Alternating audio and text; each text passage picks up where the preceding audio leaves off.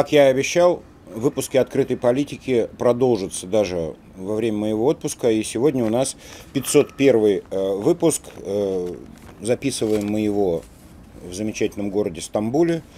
Вот на этой чудесной террасе.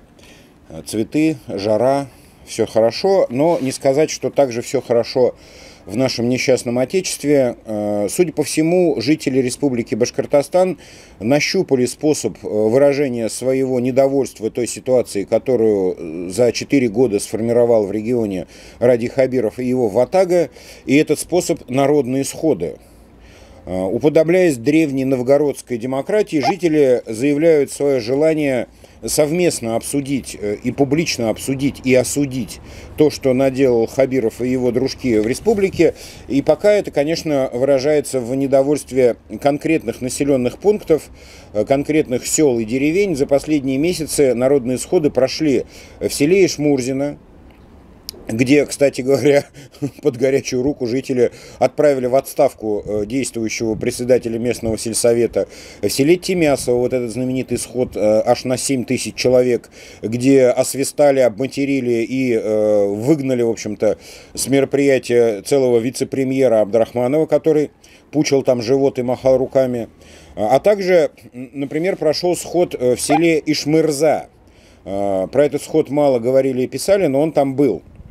Э, ну и в некоторых еще селах за Урале тоже подобные мероприятия прошли. Э, сейчас идет подготовка к э, нескольким народным сходам тоже во многих зауральских поселениях, селах и деревнях. Такая активность ну, не могла не напугать до младенческого поноса башкирские власти. Администрация Баймакского района, это, наверное, по указке свыше, врубила свой такой административный ресурс, оказала административное давление. Директора государственных учреждений, руководители государственных учреждений под угрозой увольнения запретили жителям села Тимясово и других населенных пунктов участвовать в сходе. Приходить вообще на сход запретили. Под угрозой увольнения. Тем самым наруша... нарушили законы Российской Федерации, нарушили конституционные права жителей. Информация уже вышла на федеральный уровень и даже попала в международные иностранные СМИ, что ужасно беспокоит Хабирова и его команду, потому что, ну, например, в Кремле уже начали морщиться. Это что такое вообще происходит в вашей там замечательной, спокойной, покорной Башкирии, которая всегда была впереди планеты всей по э, как бы лояльности к властям? Э, естественно, хабировская команда спешно мобилизует всех своих провластных блогеров и различных лохматых публицистов э, ну, на то, чтобы дискредитировать это движение, чтобы выдать его за происки вообще Запада. И эти разговоры тоже начались, что, дескать, там это вот укронацисты, оказывается, финансируют вот эти все вещи. Ну, ужасно, конечно. Но подключают правоохранителей, которые, ну, нехотя, но пытаются сформулировать обвинения в отношении некоторых э, активистов, в частности, вот в селе Тимясово, вот этого инвалида-колясочника сейчас пытаются э, привлечь к ответственности за то, что он вот этот вот законный народный сход э, провел, э, по мнению там, властей, в виде незаконного митинга. Ну, это, конечно, предсказуемо, это должно было произойти, и это произойдет. То есть я желаю стойкости и последовательности тем, кто занимается этим в своих родных деревнях и селах, но, пожалуй, что уже поздно властям Башкирии предпринимать вот эти все вещи, потому что народ Башкирии добрый, покладистый, спокойный, но, как говорится, медленно запрягает, но быстро едет. И э, народ медленно, но окончательно вынес свой приговор Хабирову и его команде. Приговор этот э, на самом деле пугающий, непригоден, не нужен, опасен и вреден. Вреден для жителей Башкирии. Вот такой вот приговор вынесен простыми, обыкновенными жителями сел и деревень, в частности в Заурале. И все чаще звучит обидное башкирское слово «манкурт» рядом с э, фамилией, именем Радия Хабирова. Это уже не поправить. Это уже оседает в сознании людей. Сколько не убеждай, не обещай, не очерняй, все вот это вот уже бесполезно. Манкурт – это приговор. Потому что кроме золота здесь есть народ, который сам золото.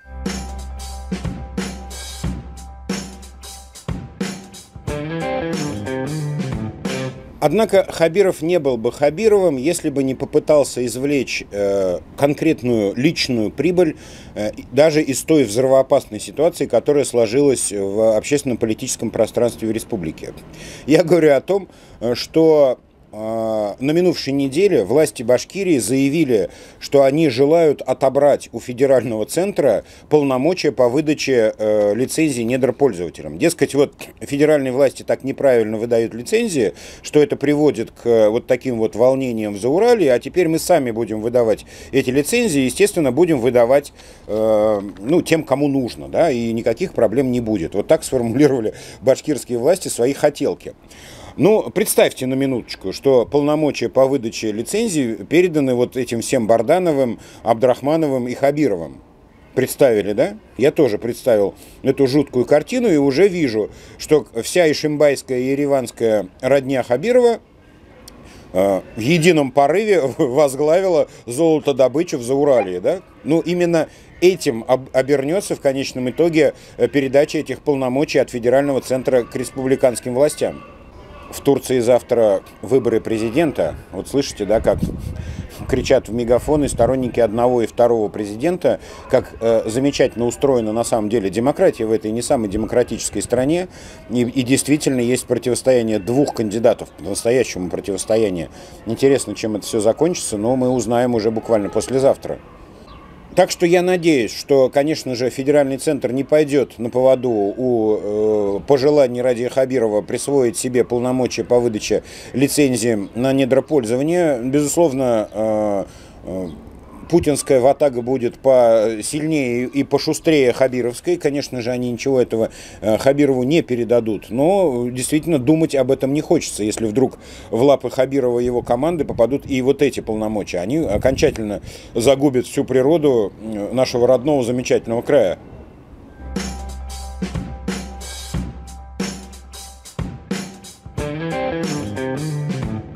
В последний год Э, властям Республики Башкортостан все труднее и труднее выдумывать э, и выдавать в информационное пространство какие-либо настоящие реальные достижения народного хозяйства. Ну, то рекордный урожай они э, сгноят буквально в полях, э, то, значит, э, новенькая дорога треснет до основания земли, за которую выложено там до небес миллиардов и так далее, а то бестолковый министр сельского хозяйства поморозит сотню тысяч гектаров посевов в погоне за рекордами темпов посевной. Ну вот, вот, вот такие вот достижения, конечно же, они стараются там придумывать какие-то свои собственные, выдуманные, смехотворные, а в, реальной, в реальности достижения, конечно, весьма весьма сомнительно.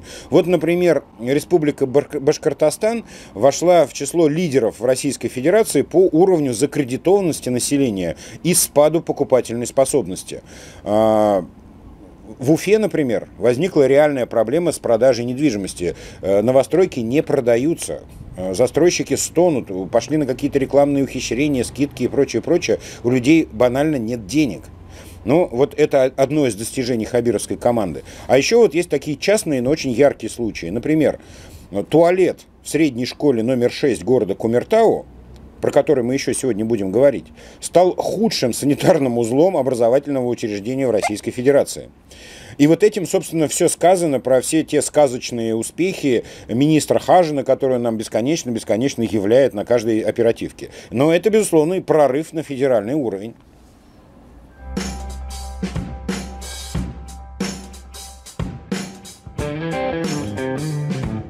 На минувшей неделе в Башкирии произошло феноменальное, на мой взгляд, событие. Это э, оправдание, реабилитация человека, который был э, ну, неправомерно, незаконно осужден э, аж целых 64 года назад. Я говорю про Фатхулу Исхакова, этого почтенного уже в возрасте мужчину, э, с которым я лично встречался и брал у него интервью вот в процессе этого, этих попыток оправдания. В 1959 году он был осужден э, на 13 лет тюремного заключения за э, покушение на убийство. И все оставшиеся годы после этого Фатхула Исхаков бился за собственное оправдание. И вот случилось он полностью оправдан, и с него сняты вот эти обвинения, снята судимость и так далее, и так далее.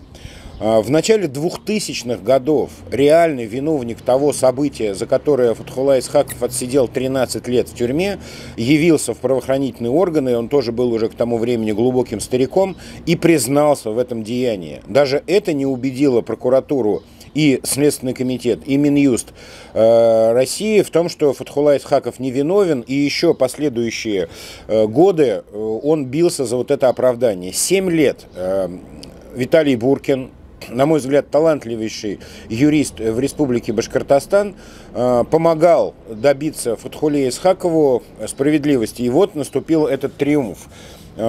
Э, тяжело это было. Фатхула Исхаков стоял в пикетах у прокуратуры, он стоял в пикетах у Следственного комитета и добивался внимания к своему делу. В конце концов, э, победа случилась. Ну, это особенно удивительно на фоне того, ну, абсолютного фестиваля бесправия и беззакония, который сейчас творится в Российской Федерации, меня это удивляет, поражает и восхищает. Мои э, как бы приветы, лучи любви и поддержки Фатхуле Исхакову, э, команде Виталия Буркина, э, тем людям, которые 7 лет не боялись э, провала, неуспеха, казалось бы, безуспешно бились за вот эту вот э, судьбу человека, и они добились своего.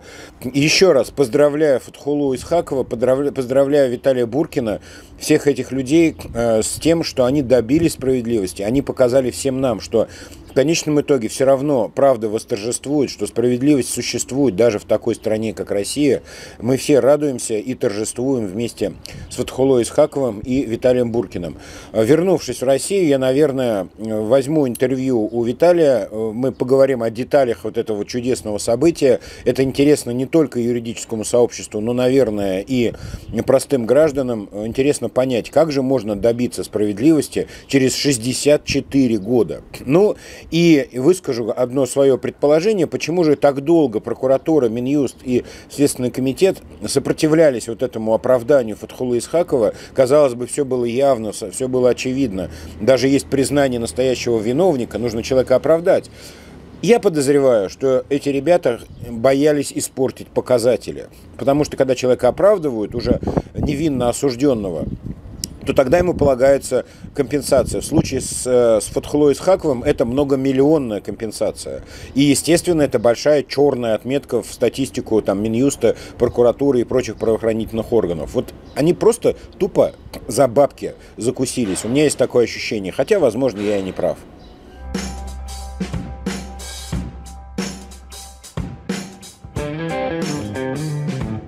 На фоне все возрастающих неприятностей и э, волнений в Республике Башкортостан э, на фоне неприятия населением их действий и решений э, проходит праймерис Единой России, и этот праймерис принимает э, ну, панические, истерические формы. Люди тупо игнорируют и саботируют этот светлый аттракцион э, имитации демократии, а единороссы, конечно, понимая, как они нелепо выглядят и на всем этом фоне, ударяются в истерику. Вот, например, все тот же город Кумертау, как сообщает нам депутат горсовета Кумертау Артем Ананьев, э, власти города поднимают на уши буквально всех – добиваясь э, голосования бюджетников через госуслуги, э, мы публикуем вот сейчас эту переписку, которую шлют э, там вот, и руководителям МУПов, ГУПов, там всех-всех-всех подведомственных учреждений, детские сады, школы, больницы, студенты, преподаватели, всех заставляют участвовать в этом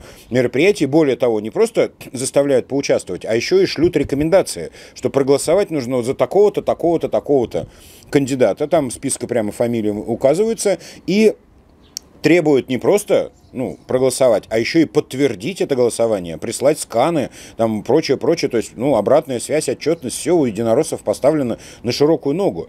А, Артем Ананьев, э, он э, депутат э, горсовета от партии «Зеленые», и он, ну, реально возмущается вот этим вот произволом политической силы, которая давлеет над жителями Кумертау. Ну, я на, на самом деле его понимаю, потому что, ну, он все-таки избранник народа, и надо сказать, что любые альтернативные кандидаты, кроме единороссов, это люди, которые ну, действительно каким-то образом по-настоящему э, прошли во власть и там что-то пытаются делать. Э, надо отметить, что, например, Руфина Шагапова, тоже депутат уже госсобрания от э, вот этой же самой «Зеленой партии», она никак не помогает Артему Ананьеву, она игнорирует все вот эти сообщения и прочее, хотя, ну, по логике вещей, она, будучи в другой партии, должна, в общем-то, ну, как-то возмутиться, наверное, поучаствовать в этой э, кампании по выявлению вот этих вот э, э, событий, которые происходят вокруг праймерис. Но Руфина Шагапова, будучи человеком глубоко провластным, конечно, в этом всем не участвует. И эта ситуация, увы, не уникальна для, там вот в городе Кумертау. Это по всей Башкирии происходит. Ну, что-то подобное повсеместно вообще происходит, то есть рассылки, принуждение, напоминания, рекомендации за кого-то конкретного голосовать. Ну, мне вот, например, интересно, правда, я смотрю на это со стороны, спрашиваю, а как же жители э, реагируют? Ну, возмущаются, может быть, отказываются.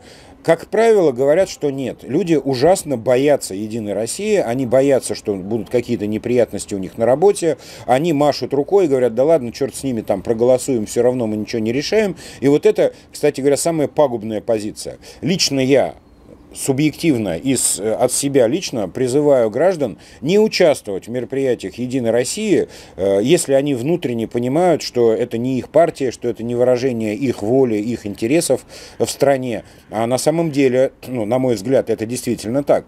То есть не, не будем э, послушным скотом, не будем послушным стадом, которые вот, ну, принуждают к подобным решениям. Потому что потом, когда начнутся настоящие выборы, а праймерис это такие игрушечные выборы, Единой России. Потом, когда в сентябре будут выборы в Госсобрание, на самом деле у вас уже не будет выбора вам уже сформируют вот этих вот Шамилей Валеевых, Монсонов и прочих э, монстров, которых выдвигает Единая Россия, значит, э, в число своих э, кандидатов в депутаты Государственного собрания Республики Башкортостан. И эти люди потом будут вами руководить. Они будут э, давать разрешение на разработку карьеров, они будут э, саботировать мусорную реформу, они будут э, вот так вот устраивать вот этот вот Техас-Хабирова весь общественный транспорт. Это все будет исходить от них. Задумайтесь задумайтесь об этом. Вот я призываю к этому жителей и Кумертау, и остальных населенных пунктов Республики Башкортостан.